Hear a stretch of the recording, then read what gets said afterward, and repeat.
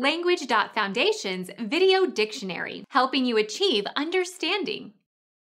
You own legs. Shanks mare, Shanks pony, Shanks mare. Become our student and get access to effective and free educational materials. Subscribe to our channel to become a part of our growing community and to learn English effectively.